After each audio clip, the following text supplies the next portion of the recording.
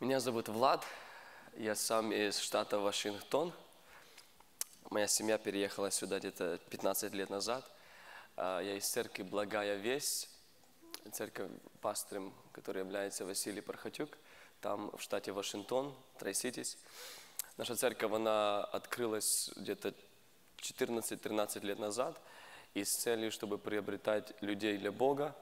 К сожалению, мы по-английски не разговаривали, у нас очень маленькое русское население в городе, то пастор нас направил, молодежь особенно, приглашать американцев, мексиканцев в церковь. И помаленьку, шаг за шагом, люди начали приходить в церковь, каяться, и Господь сегодня делает замечательные вещи, особенно последний год. А, Было просто очень-очень хорошее время для нас, когда мы видели новообращенных людей из нашей, нашей среды, нашего города, которые приходили к Господу. И рад сегодня быть вместе с вами. Я провел время с, вашим, э, с вашей молодежью на очень холодном лагере, но было очень тепло, потому что они очень дружелюбные. И Господь был вместе с нами, Господь касался людей. Были даже люди, которые получили физическое исцеление, и а, люди, которые обратились назад к Господу. И просто было очень-очень замечательное время. Знаете, молодежный лагерь – это то место, где ты не спишь, много кушаешь, общаешься, но не спишь. И это, поэтому я думаю, когда уже приедем домой, я высплюсь хорошо. А сейчас мы здесь просто э, э, служим, и ваша молодежь, она очень замечательна, и рад, и рад тем, что Господь делает с ними и будет делать через их. Аминь. Я благодарю вашего пастора за эту возможность быть здесь и поделиться Божьим Словом с вами. Прошу сразу извинения, потому что вы уже заметили, что мой русский, он чуть-чуть не, не это, не профессиональный и несовершенный. Э, Наша церковь, она уже по-английски все, и все служения, которые даже я веду, они все по-английски, и мое служение в большинстве, оно с молодежью, и тоже оно по-английски. Поэтому э, я знаю, что многие из вас, вы, вы намного старше меня здесь, и может кто-то подумает сразу, то что он там будет говорить. Э, Примите меня как вашего сына, и Господь что-то скажет. Аминь. Знаете, сегодня вспоминая о том, как наш Господь Иисус пришел на эту землю и пострадал за нас и умер. Я всегда думал, что самая большая жертва, которую Иисус сделал для нас, это было то, что Он умер на кресте.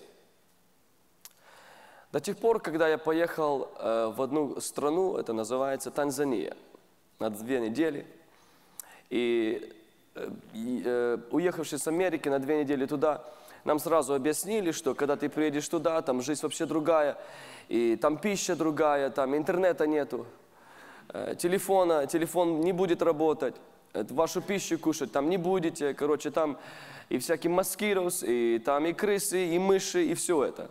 И там слоны ночью ходят прямо по улицам, гаинос, львы. Ну, короче, напугали нас хорошо. Когда мы приехали туда, и это была правда, что жизнь там, это вообще была очень, очень сложная жизнь по сравнению с жизнью в Америке. Э, ну, теплой воды не было, э, чистой воды не было, и просто жизнь была, ну, трудно жизнь две недели. И просто страдал, и все.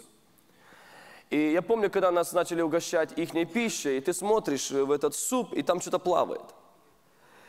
И ты сразу притворяешься духовным и говоришь, что я пощусь. Просто, просто пребываю, хочу пребывать с Господом, и все. А, а и ты- а нам сказали прямо, что там такая культура, что если тебе предложат еду, и ты не принимаешь эту еду, они ничто, то, что ты им скажешь, принимать не будут. Поэтому если ты хочешь, чтобы они покались, все кушай, то, что там плавает. И это страшно. И я помню, когда на- ты кушаешь все это и молишься, Господь, сохрани разум и душу и тело, и все, потому что не выдержу это. И когда закончились эти две недели, ты приезжаешь домой, в Америку, как, как будто на небо приезжаешь. Ты Бога благодаришь, кланяешься прямо на аэропорте. Слава тебе, Господь, что избавил, благословил и сохранил. И когда мы начинаем думать о том, что Господь пришел когда на эту землю, это несравнимо с тем, как будто ты уезжаешь с Америки в какую-то бедную африканскую страну. Это несравнимо с этим. Оставить славу неба и стать человеком – это уже была большая жертва, которую Иисус заплатил. Мы иногда думаем, ну, земля, что здесь плохого? Воздух есть, вода есть, красота, красиво. Это же творение Господа. И для Него быть на этой земле – это привилегия. Это никакая не привилегия. Это трудно. Для личности, которая прожила на небе всю вечность, для личности, которая есть святость, которая есть милость и которая есть доброта, прийти на эту землю – это не привилегия, это жертва. Однажды Билли Грэм, он э, рассказывал одну историю, я, может, детальности эту историю не перекажу, потому что это уже было очень давно. Он говорил, когда он был маленьким мальчиком и пришел к своей маме, и начал говорить о том, что у него было очень, э, он сильно полюбил этих муравьев, муравьев, которые были там за домом, у них, они там домик маленький себе уже построили, эти муравьи, и сказал, что ну, он очень их любит. И мама ему сказала очень плохую новость, что завтра придет один дядя, который их всех отравит. Ну и, конечно, его сердце сразу наполнилось печалью. И он говорит, мама, ну как я могу спасти этих муравьев, чтобы они завтра не умерли? Ну, он, будучи мальчиком, пошел к этим муравьям, склонился на колени, взял самого большого в свою руку и начал ему объяснять, что завтра вам придет конец. Вы все умрете. И говорит, я с, этого, с этим ничего общего не имею, я не хочу вашей смерти, я вас очень сильно люблю. Я за вашим миром уже наблюдаю. И мне очень нравится, как вы живете.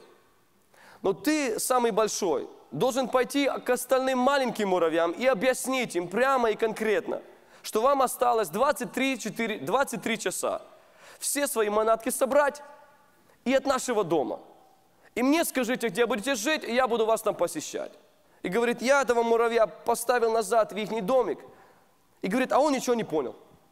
Продолжает всю свою жизнь и говорит, в следующий день я увидел, как этот дядя пришел и всех моих муравьев утравил. И говорит, я пришел назад к маме, и говорит, ну, мальчиком был. И говорит, мое сердце разбито. Ну, мама, ну почему так? Почему он меня не понял? Почему он не сказал другим муравьям? И мама ему объяснила, говорит, что он, этот маленький муравей, может тебя понять только по, одном, по одной, а, только через один путь. Одним путем ты только можешь спасти и донести этим муравьям спасение. Это тогда, когда ты сам станешь муравьем. И она его спросила, ты муравьем хочешь стать? Ты же говоришь, ты их так сильно любишь. Говорит, мама, я их люблю, но муравьем вставать не буду.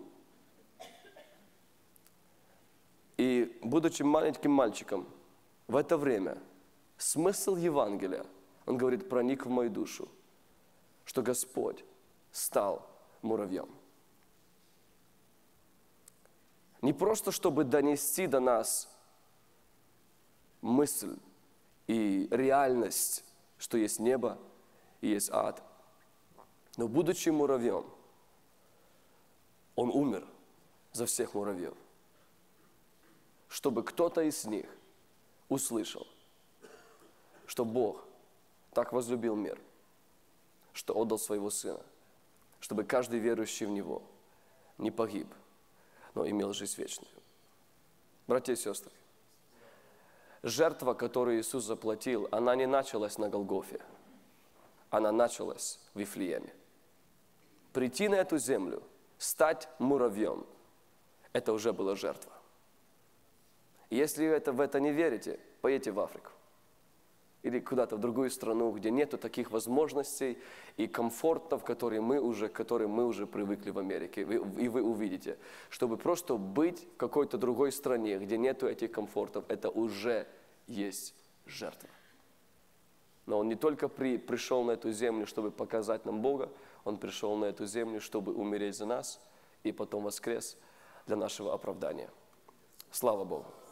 Давайте мы откроем вместе Божье Слово очень, очень э, знаменитое место, это будет Иоанна 3 глава и 14 стих. Место, которое мы все знаем, это Иоанна 3 глава и 16 стих, и мы возьмем пару стихов выше. Я сегодня хочу просто перед преломлением поделиться Божьим Словом о любви нашего Господа. Иоанна 3 глава, и 14 стих. «И как Моисей вознес змею в пустыне, так должно вознесено, вознесено быть Сыну Человеческому, дабы всякий верующий в Него не погиб, но имел жизнь вечную. Ибо так возлюбил Бог мир, что отдал Сына Своего и Единородного, дабы всякий верующий в Него не погиб, но имел жизнь вечную. Ибо не послал Бог Сына Своего в мир, чтобы осудить мир, но чтобы мир спасен был через Него. Я прочитаю тоже еще одно место, это будет 2 Коринфянам, 5 глава и 21 стих. 2 Коринфянам, 5 глава и 21 стих.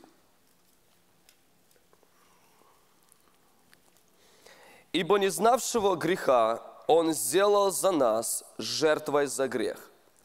Я греческий там не знаю, но от тех, которые знают, слыхал, что в этом стиху слово «жертвой за» в греческом оригинальном отсутствует. Я сейчас прочитаю как, как в оригинальном написано. «Ибо не знавшего греха Он сделал для нас грехом, чтобы мы в нем сделались праведными перед Богом.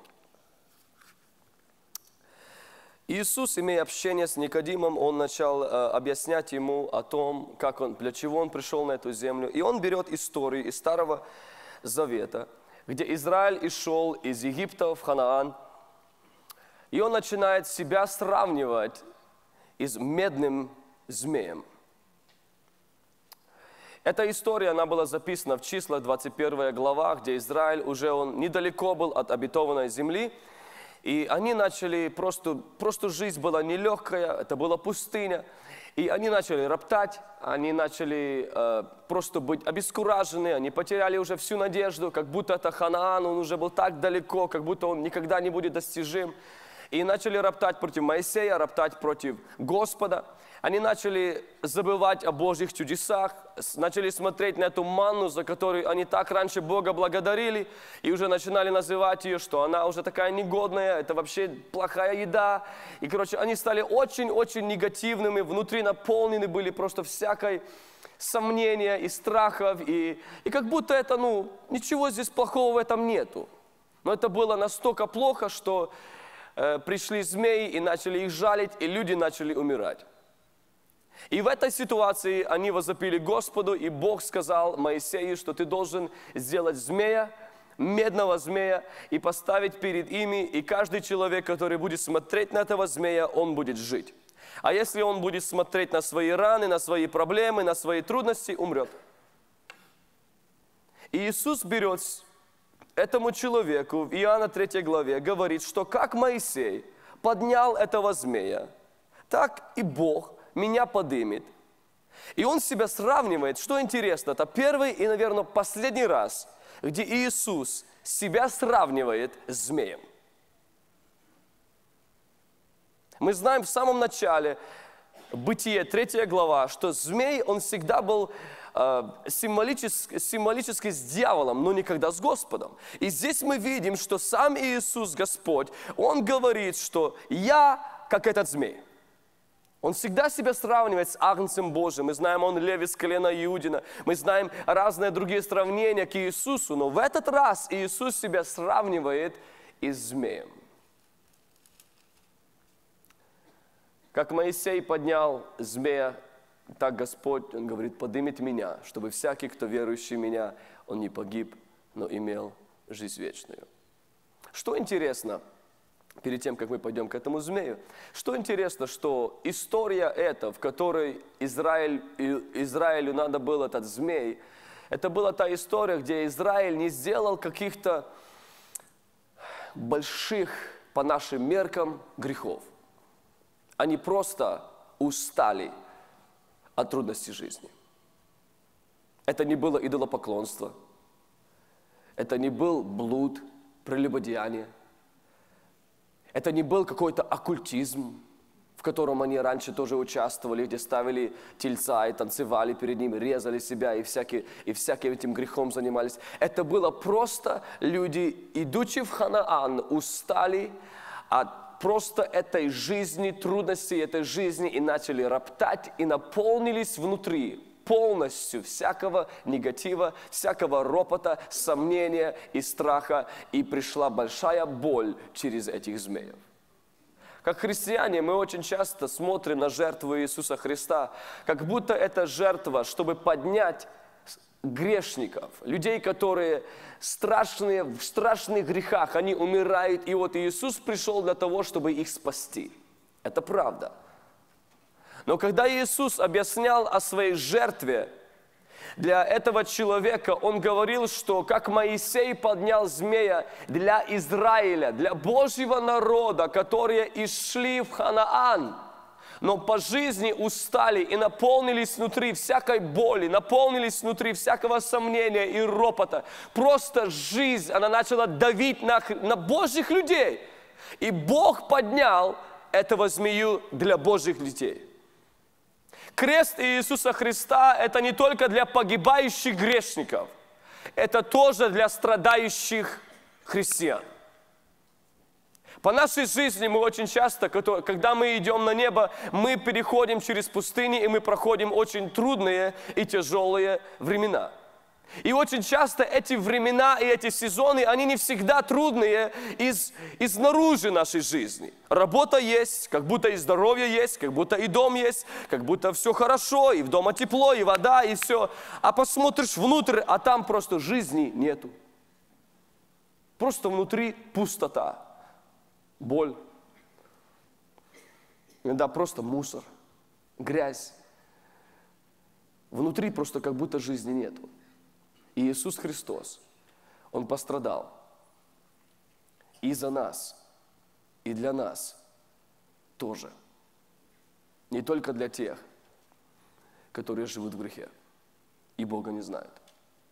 Для меня эта история, она очень близко. Потому что я вырос в христианской церкви, Пятидесятнической церкви в Украине. И моя семья всегда ходила в церковь. Но из-за того, что при рождении, при моем рождении было большое, был один акцидент, и у меня было повреждение of optical nerve. Из-за этого повреждения я вырос, и как вы уже чуть-чуть видите, что один глаз чуть-чуть больше второго. И у меня было две операции. Одна была операция в Украине, другая операция была в Америке, чтобы это исправить. У меня нет ничего, никакой проблемы с моим зрением, я могу спокойно ну, видеть все. А, мои родители, все мои братья, у них есть glasses, у меня нет, у меня есть хорошее зрение. Но из-за этого повреждения у меня были очень сильные головные боли каждый раз, когда я был на солнце. И это длилось всю мою жизнь. И я ходил в церковь, э, не курил, не пил. В дома не только у нас телевизора не было, у нас и телефона не было. Мы такие освященные были. Или денег не было, не знаю. И все, все внаружи было хорошо. Люди смотрели и говорили, вот хороший мальчик, и все. Как будто все хорошо, и шли на небо. Мы были верующие. Я Библию читал э, до 15 лет. Я прочитал Новый Завет 25 раз. Я просто в Библии сидел, потому что больше ничего в дома не было. Родители заставили Библию читать, я читал. Как будто все внаружи было хорошо. Но если бы кто-то заглянул внутрь, там во мне жил ад. Каждый раз, когда проповедник вставал и говорил, что Бог нас любит, это просто проходило под головой, над головой. Потому что у меня всегда было просто, я знал внутри, если Бог бы меня любил, Он никогда бы этого не позволил. И подсознанием у меня не было понятия, что Бог Он за меня, что Бог Он меня сильно любит. Я всегда, всегда внутри была такая ненависть к Богу вопросы к Богу. А почему? А почему так? Только дети выходят играть э, летом футбол, и это все. А я не мог долго играть, потому что у меня головные боли, и мне всегда надо было быть дома. И мне было очень трудно внутри просто жить жизнью, внутри, не, не внаружи, а внутри, где у меня просто был покой, радость и мир во Святом Духе.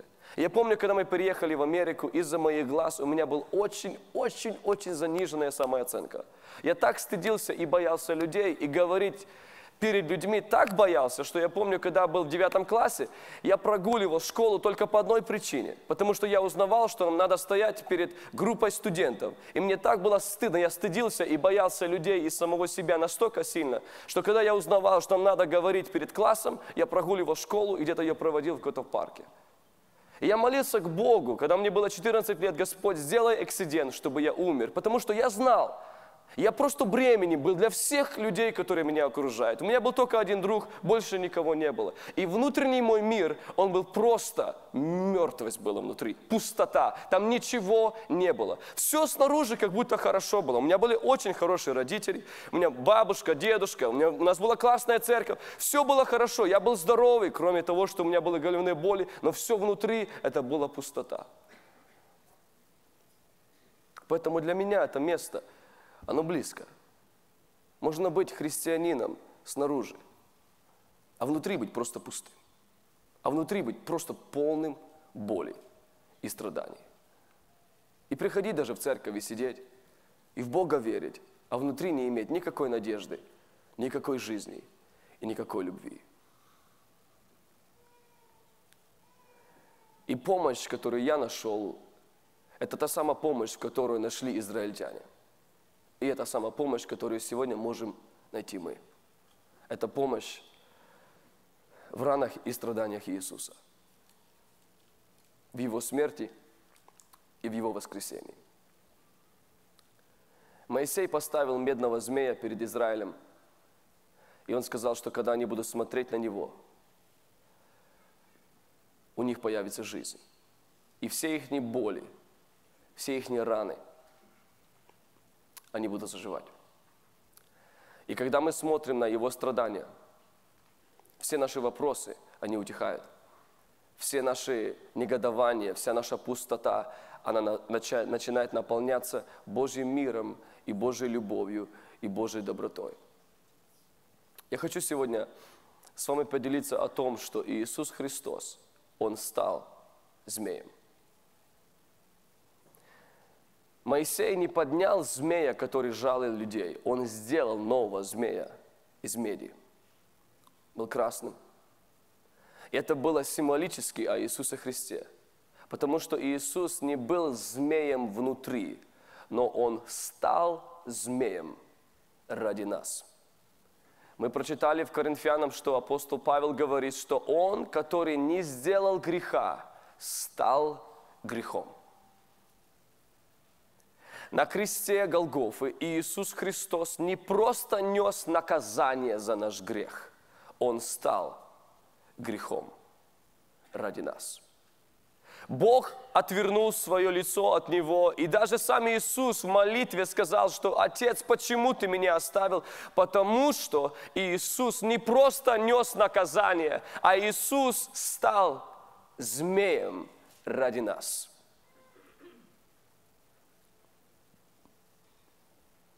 Интересно то, что внутри он был святой. Внутри он никогда ничего плохого не сделал. Но Небесный Отец смотрел на него, как будто он был грешник. Бог знал, что Иисус, Он святой и Он Его Сын.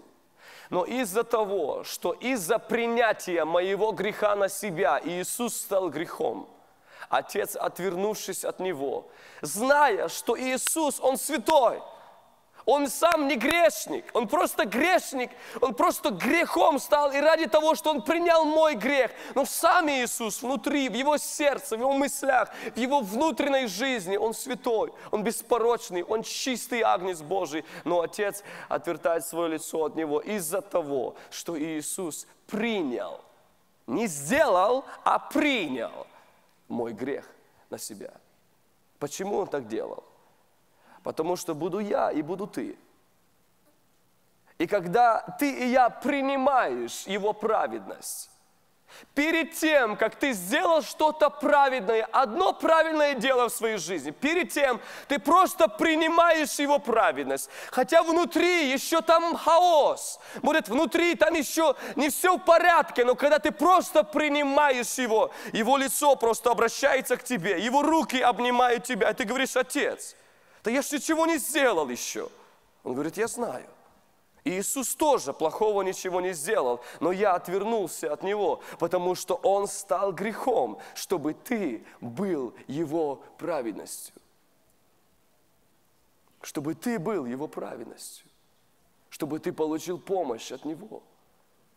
Иисус говорит, что как Моисей сделал этого медного змея, Отец сделает меня, что я буду этот змей на Голговском кресте, буду умирать как грех за вас, чтобы вы могли получить Божье принятие, благоволение к себе. Я понесу наказание за ваши грехи, чтобы вы могли смотреть на меня и смотреть на меня, чтобы у вас было внутри и кругом вас была жизнь. Секрет наш – это не просто изменить свою жизнь, а изменить свой взгляд. Куда смотрим мы? Очень часто люди, как израильтяне, мы смотрим на наш на наши боли, на наши раны, вместо того, чтобы смотреть на его боли и на его страдания. Каждый раз, когда человек смотрит на свою внутреннюю пустоту, он смотрит на свое физическое, как он физически, физически смотрит, он смотрит, насколько люди ему причинили боль, насколько трудно в жизни, на свою болезнь, на рак, на, на диабетис, high blood pressure или всякие разные болезни, неустройства в жизни, и он смотрит, его жизни просто внутри приходит всякое негодование. Но Господь говорит, что когда мы берем наш взор от нашей боли, от нашего греха, от нашей славы, слабостей, от наших провалов жизни, и мы просто их поднимаем к тому, который понес это все, тогда только через это приходит Божья помощь, и Божья поддержка, и Божье исцеление, и Божье восстановление. Только через это. Ты не можешь сам себя изменить. Когда ты упал или когда ты где-то пережил какой-то провал в жизни, духовный или, может, эмоционально, ты не можешь изменить свою жизнь, смотря на свои боли, на свои грехи и смотря на все, что у тебя болит. Эта перемена приходит тогда, когда мы смотрим на Господа, смотрим на Его страдания и смотрим на Его жертву и на то, что Он сделал на Голговском Христе за нас. Из-за того, что Господь сделал на Христе за нас – из-за того, что Он за наши грехи заплатил. У нас есть шанс себя не наказывать.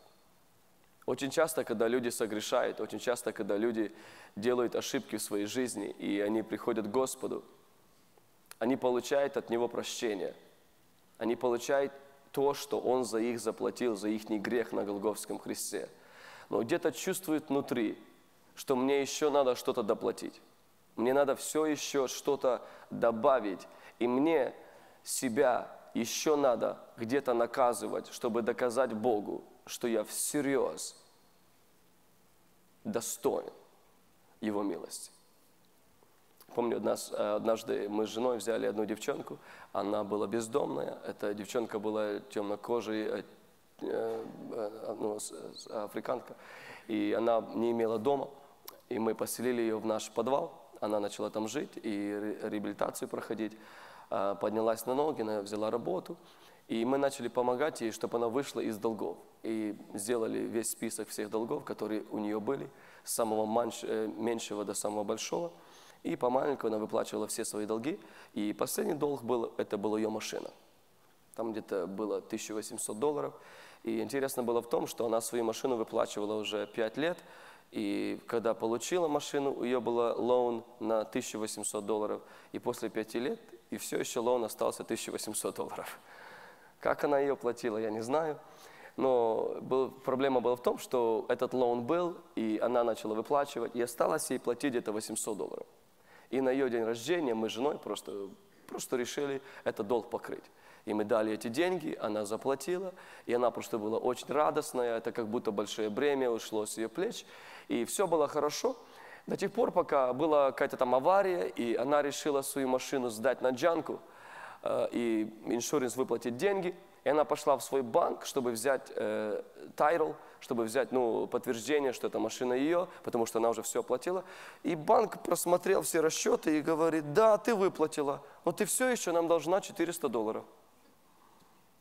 Она говорит, ну как, я же все выплатил, вы сказали, что все хорошо. Говорит, да, но еще надо доплатить 400. И очень часто мы также чувствуем с Господом. Все заплачено, но ты еще должен чуть пострадать за свои грехи. Ты еще, еще на земле чуть-чуть, чтобы научиться. И очень часто у нас такое взаимоотношение с Господом. Только какая-то маленькая проблема приходит в жизнь, и мы сразу чувствуем, да, все оплачено. Ну, кроме этой проблемы. А еще это надо пронести, чтобы просто доказать, что ты искренно просто понял, что ты спасен. Да, в жизни будут всякие проблемы, но как христианин, как человек, который принял прощение через мои грехи, я не доплачиваю, страдая в жизни. Имея болезни или какие-то неустройства, это не Божий, не Бог, просто говоря, я заплатил 99%, но надо еще 1%, дотяни же чуть-чуть. И очень часто мы, как христиане, мы не уверены в том, что все наши грехи до одного были оплачены на Голговском Христе. И что Бог нас больше за эти грехи не будет наказывать. Потому что тот самый грех не наказывает дважды. Это нелегально, чтобы одного человека посадить два раза за один тот самый поступок. А мы как-то где-то внутри, в подсознании, у христиан всегда это есть, как будто да, простил, на небе пойду, но на земле Господь все еще, ну, чуть-чуть еще покажет, накажет, чтобы как будто научить чему-то или то и все. Но внутри мы должны просто глубоко осознать, что Его жертва на кресте было достаточно – это не говорит о том, что не будет проблем. Это не говорит о том, что не будет трудностей. Это не говорит о том, что не будет болезни, неустройства и всякой проблемы в жизни. Но когда эти проблемы приходят, внутри появляется уверенность, что Бог меня не наказывает, а Он за меня и Он мне поможет. Когда жертва Иисуса в подсознании человека приходит просто чистота и понятие, что мои грехи были наказаны, тогда каждая проблема, каждая болезнь, неустройство, финансовые проблемы, какие-то скандалы в семье, мы это не воспринимаем, как будто я доплачиваю за свои грехи, а воспринимаем это, я живу в жизни и в мире, где есть проклятие, где есть грех, где есть болезнь. И Иисус сам сказал, будут трудности, но Бог меня наказал в Иисусе. А сегодня Он на моей стороне, Он не против меня, Он не ищет где-то погреть свои руки на моем несчастье. Он за меня, и Он со мной в каждой моей проблеме. Это меняет твой подход к проблемам твоей жизни. Где ты к Богу смотришь как к тому, который тебе поможет, вместо к тому, который тебя наказывает. А дьявол, он нас обманывает. И когда человек начинает смотреть на каждую болезнь и говорит, ну да, перед тем, как я пришел в церковь, я там нагрешил, я там много дров наломал, там того обидел, того обидел, и Бог просто сейчас меня наказывает. Да, я спасен, это завтра. Если, ты, если Бог тебя наказывает за те грехи, которые ты сделал в прошлом, какую уверенность имеешь ты, что Он тебя не накажет за твои грехи и вечности? Нет никакой уверенности. Или его жертва достаточна за все грехи, или она вообще недостаточна.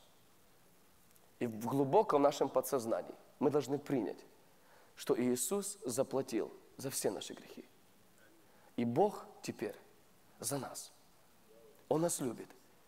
И всякая проблема – это не Его наказание. Да, Бог дисциплинирует своих детей. Но даже когда есть дисциплина – в этой дисциплине это приходит из-за любви. Он нас дисциплиной притягивает к себе. Наказание и дисциплина – это разница. Наказание – это всегда в вечности, дисциплина – это на земле. Наказание всегда для грешников, но Божья дисциплина – это только для детей. Наказание, оно всегда из-за гнева, Божья дисциплина всегда из-за любви. Наказание – это чтобы тебя говорить, отойдите от меня, а дисциплина – это чтобы тебя притянуть к себе – это вообще разные вещи. Даже и когда Господь дисциплинирует своих детей, это не из-за того, чтобы наказать их, а чтобы изменить характер внутри. И даже в этом Бог всегда за их, не против их. Братья и сестры, через жертву Иисуса Христа у нас есть возможность понять, Бог не против меня. И это дает мне разрешение не быть против самого себя тоже. Люди, которые жестоки к другим, очень часто, если не всегда, очень жестоки сами к себе. Люди, которые давлят, принижают и просто раздавливает других людей своими словами, своими поступками, всегда просто принижает другого человека. Если ты глубоко посмотришь его сердце, и ты увидишь, каждый раз, когда этот человек где-то делает промах в своей жизни, он также поводится с собой. Если ты хочешь изменить, как ты поводишься с другими людьми, измени, как ты поводишься с собой. А этой перемены не сможет быть до тех пор, пока глубоко в подсознании не придет откровение о том, что Бог, Он за меня. Это дает мне и тебе разрешение не быть против себя – не давить, не унижать, не наказывать себя. Особенно молодые люди очень часто чувствуют, когда я что-то сделал плохое, когда я сделал ошибку, где-то упал, согрешил и спотыкнулся. Как будто, если я себя накажу, это как будто я Богу докажу, что я настолько покаянный. Это я настолько просто осознал, как будто Богу можно угодить, когда ты себя наказываешь.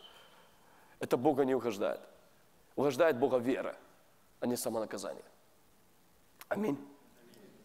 И последнее что? Что первое, что когда я осознаю, что Бог за меня, через жертву Иисуса, я могу не быть против себя. Я могу смотреть в зеркало и себя ненавидеть, а принимать себя. Я не говорю, чтобы там себя хвалить, там, прославлять себя. Ну, ну, ну, ну. Это все ненужные вещи. А мы говорим, когда люди могут просто жить с собой. Потому что, знаешь, э, твои дети с тобой всегда не будут. Жена будет, но не всегда была. Один человек, который с тобой всегда будет навсегда, это ты. Если ты с собой не научишься, как жить хорошо, то ни с кем не будешь хорошо жить. А многие люди, они с собой не знают, как жить себя всегда мучат, себя всегда давлят, всегда внутри позволяют. Всякие просто, я так жил, просто я знаю, поэтому для меня это тоже то, что очень близко. Я с собой не мог жить в одной комнате, не мог с собой провести. С другими людьми как будто более-менее терпел, а сам себя просто не мог терпеть и все. Ненавидел себя, смотрел в зеркало и просто я был уверен в том, что просто я, я урод, Бог не имеет э, плана для меня, Он всех создал, для всех имеет какие-то хорошие планы, а для меня просто сделал ошибку и все, и говорит, подожди, когда умрешь, на небо попадешь, все будет хорошо. Вот так я внутри думал. И когда Господь изменил мое подсознание о том, что Он за мои грехи заплатил, меня сильно любит, и я просто первое, что это изменилось, это может звучить как для кого-то какой-то там еретикой даже, как-то себя там, что там, да все оставить и все. Но ты внутри просто начинаешь понимать, что Бог меня любит. И мне не надо себя резать, мучить, давить, унижать. Если Бог такой святой, такой великий, такого ничтожного, как меня, может простить, да я же не такой святой. Да я же тоже с собой, с собой могу примириться. А многие люди себя простить не могут. А почему? А потому что думают, что их стандарты выше Божьих. А знаешь, почему Бог меня простил? Там у него стандарты такие его. А я, а я во выше. Вот поэтому себя простить не могу. Представь себе, это, это, это же глупость. Это же это страшно, что ты ставишь себя выше Бога.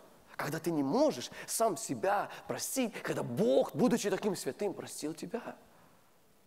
А когда ты себя не можешь простить, и это потом выливается на детей – выливается на жену, на мужа, на соседей. Кто-то в церкви где-то промах сделал, это сразу выливается на других. Потому что люди, которые жестоки к себе, всегда будут жестоки к другим людям.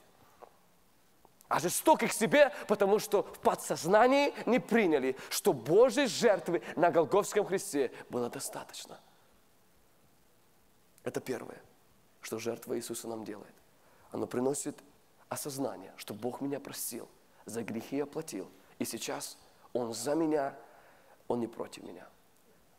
Но второе и последнее, что из-за жертвы Иисуса, из-за того, что Он простил нас, теперь у нас есть повеление прощать и миловать других грешников.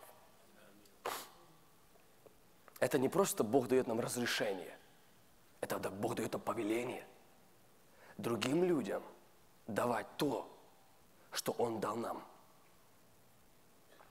Когда поймали одну женщину в прелюбодеянии и привели ее к Иисусу, и у людей сразу камни набрались. Где они эти камни нашли, не знаю. Но пришли сразу с камнями к Иисусу и говорят, Иисус, Моисей сказал, побить, убить уничтожить. Что скажешь ты? А Иисус там что-то писал, писал, писал, писал. И потом он встал и говорит, кто из вас без греха? Первый бросьте камень. И сразу камни начали падать, и они ушли. Но что интересно, что Иисус сделал в этой ситуации? Когда люди были наполнены ненавистью, злобой и даже осуждением к человеку, у которого был факт, он сгрешил, он упал, он сделал большой, грязный, просто аморальный грех. Когда это было, просто наяву, это вот здесь, ну, люди просто были наполнены этой, просто гневом против этого человека. И Иисус, придя к им, что Он им дал? Он им дал зеркало. Он им дал зеркало. И когда каждый человек посмотрел в зеркало, и камень сразу упал. И пошли дальше. Проблема многих христиан сегодня, что у них много камней, а зеркало попропадали. Ну, братья и сестры, давайте так прямо признаемся. Э, мы уже в 21 веке, мы усовершенствовали этот метод э, с камнями. Мы камня не используем, у нас что-то есть более совершенное. Это называется слова. Слова они ранят человека больше, чем камни. Камень по голове там ударил, поболело и все. А когда слово идет, идет в душу. И сегодня мы уже не по закону Моисея, а по закону э, иногда на нашей религии, нашего просто святости нашей такой, что мы без камней ходим, но так слова иногда такие подберешь сильные – и как пустишь это слово в другого человека, и оно просто его раздавит и разбьет. Но очень часто почему наши руки полны этих камней? Потому что пропало зеркало. И забыли о той жертве, которая просила нас, и которая от нас ожидает, чтобы мы прощали, помогали. Да, мы не оправдываем, мы не где-то закрываем грех, но мы поднимаем людей, которые падают в грехах. Аминь. А этой женщине, которая упала в грех, Иисус пришел, и Он не дал ей зеркало, потому что она уже на него смотрела и увидела, насколько грешна она была. А Он ей сказал то, что я тебя не осуждаю. Иди и впредь не греши. Я видел в многих церквях, в вашей церкви этого нет, но в многих церквях есть этот стих при выходе. Иди и впредь не греши. Но я в своей жизни еще ни разу не видел церкви, где написано «Я тебя не осуждаю». И мне такой вопрос задается. Почему? Может, потому что они осуждают? Может, потому что люди уверены, что Бог осуждает? Я не знаю, но как будто ну, это, это, не, это не важно. Самое важное – ты иди и не греши. Братья и сестры, самое важное – это то, что сначала сказал Иисус, что я тебя не осуждаю и тогда иди и впредь не греши. Многие люди никогда не смогут идти и не грешить до тех пор, пока в подсознание не зайдет это слово «Я тебя не осуждаю». Я тебя помиловал. Я тебя простил. Я тебя люблю. Я за тебя. Я тебя подыму. Знаешь, почему эти люди не кинули камень? Потому что они грешники. Знаешь, почему я не кинул камень? Потому что святой. А я думаю, что святые люди всегда камни бросают. Но только бросают камни те, которые не святые. Святые люди поднимают.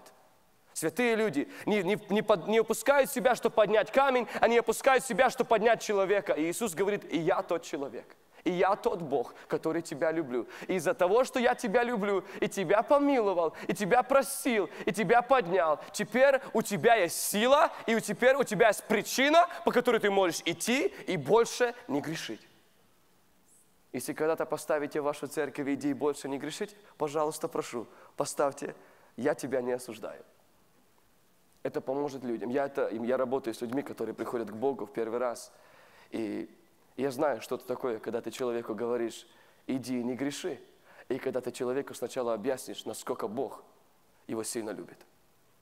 Это дает человеку мотивацию, это дает человеку силу и поддержку. И благодать Божия начинает изменять человека изнутри. И он становится новым человеком. Аминь. Господь за нас, братья и сестры, через жертву Иисуса Христа. Он не против нас. Он хочет нас поднять, нам грехи простить, и мы должны просто прийти к Нему и смотреть не на наши раны, не на наши грехи, не на наши недостатки, а посмотреть на Его жертву, на Его страдания. И в ранах Его мы получим исцеление. Может, сегодня ты на этом месте, и ты физически болен. Может, у тебя есть болезнь. Я хочу тоже тебе дать этот совет. Что Израиль в этой истории, это были, были физические боли, которые были в их телах. И в это время, когда они смотрели на этого змея, у них пришло физическое исцеление. Я помню первый раз, когда в нашем служении э, был человек, который получил исцеление. Мы, мы, мне было мне кажется, 16 или 17 лет. Мы взяли всю нашу молодежную группу на один, на, как, как вы были в это This Weekend, на, на три дня на такой э, кемп, где было просто молитвы, где были просто, даже это не был, там не были никакие игры, просто молитва, проповедь, молитва, проповедь на такое общение. И в это время моя сестра заболела, э, как-то kidneys, в почке, у нее были kidney stones, э, как stones, камни в почках были. И она лежала в больнице пять дней. И они не выходили, у нее было столько боли, и она просто вообще дали всякую медицину там, и она как уже ну, ходила как такая под, под это, под влиянием этой медицины. И она сказала, вот в пятницу мы выезжали, и она сказала своему доктору, я ухожу с больницы и еду в, на этот лагерь.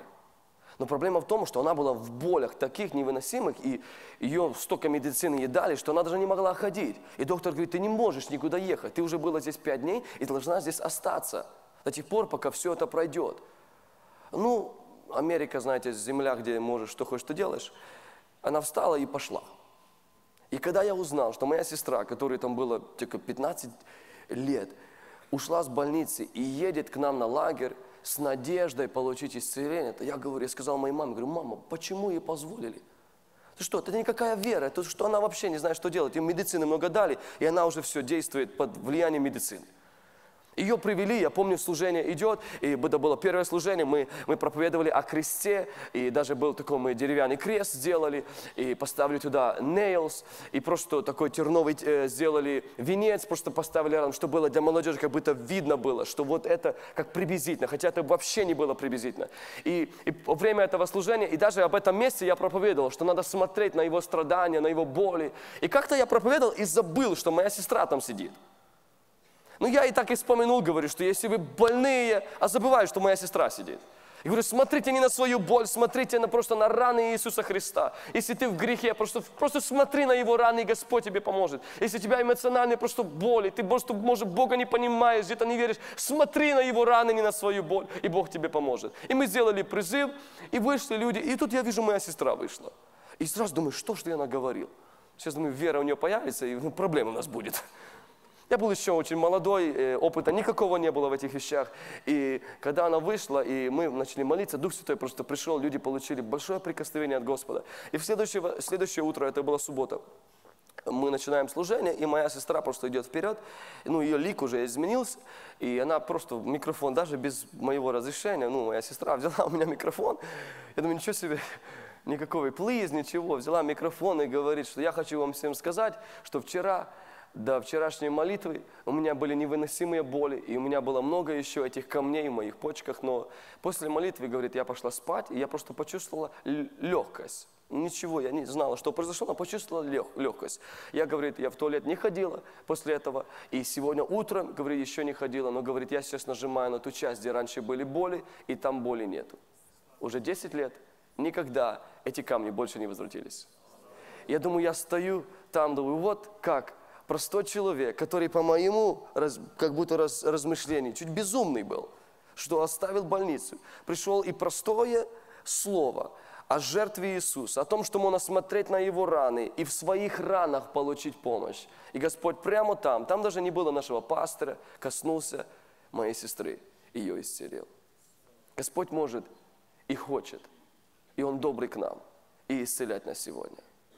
Я помню, месяц, э, два месяца назад была одна девчонка в нашей церкви, которая 10 лет не могла кушать э, специальную э, пищу, и она только была на специальной диете, потому что каждый раз, когда она кушает, она, у нее производятся разные болезни, и ее просто стомах не мог реагировать э, к всей пище. Э, она сама уже живет в Германии, там женилась, и когда пришла на служение, и просто даже в конце, это не было во время служения, э, там просто на холл, когда мне рассказала о своей проблеме, ну, и мы в нашей церкви мы молимся за людей, которые больные, и просто с верой молимся, что Господь, Он милостив, Он добрый, Он любит людей и хочет им помочь. Особенно в физических проблемах, потому что наше тело – это храм Святого Духа. И я его просил, чтобы помолиться, просто там, где она стояла, ну, она так как-то странно все так относилась, говорю, сейчас здесь, ну, ты ж, служение, это не служение. И так я говорю, ну, Господь, Он всегда с нами, Дух Святой, Он действует не только в служении, и за служением. Он говорит, ну и ты? Говорю, да, я, простой такой. Но Господь, Он великий, добрый и тебя сильно любит. И я попросил, чтобы она положила свою руку просто там, где были эти, эти боли и проблемы. И я положил свою руку на это. И просто я ничего не чувствовал. Ни огня, ни помазания, ничего, никакого пророческого слова. Просто по детской вере о том, что Господь людей сильно любит. И когда мы на Него смотрим, Он помогает нашим ранам. Через три недели она где-то отсутствовала, поехала в какое-то посещение, она пришла на служение и с удивлением приходит и говорит, ты просто не поверишь. Десять лет не могла всю пищу кушать. Последние три недели говорит, кушаю все. И хорошую пищу, и плохую пищу, все кушаю. Я говорю, я не знаю, если это хорошая идея, но ну, надо, надо смотреть, что ты кушаешь. Но меня это так настолько сильно ободрило, что ранами Иисуса, братья и сестры, мы можем получить облегчение нашим физическим недугам. Какая недуга у тебя есть сегодня? Смотри на Иисуса. Не смотри на себя, не смотри на свои боли. Не насмотри, насколько долго эта болезнь была, и этот недуг был в твоем теле. Дух Святой, Он сегодня там, где собираются святые. И Он хочет действовать и касаться жизни и тел людей. Даже вот буквально позавчера, когда молодежь начала свидетельствовать, мы молились в самом последнем служении, когда молились за хрещение Святым Духом, и люди получили покаяние, и потом мы просто молились за, за исцеление, и люди начали просто молодежь выходить, где у того была та боль, или тот, тот, который не мог согнуться, там нога, там то, все. И было просто очень, очень для меня это так было впечатлительно видеть, когда Дух Святой касается молодых людей, когда они сами свидетельствуют, с неверием даже говорят, в этом просто невозможно было, я никогда в своей жизни это не переживал, когда просто вот была боль, и после молитвы я просто это делаю, и вообще этой боли нету, как не верится верится как будто. Одна девчонка, которая свидетельство, когда в Калифорнии мы были и молились тоже за исцеление, и говорит, уже прошло там 4 или 6 месяцев, и говорит, была проблема там и с челюстью. Говорит, просто Господь убрал это, и все. Говорит, я хочу воздать Господу славу. В ранах Иисуса не только спасение для нашей души, но также есть прикосновение для наших физических недух. Аминь. Давайте мы сейчас поднимемся.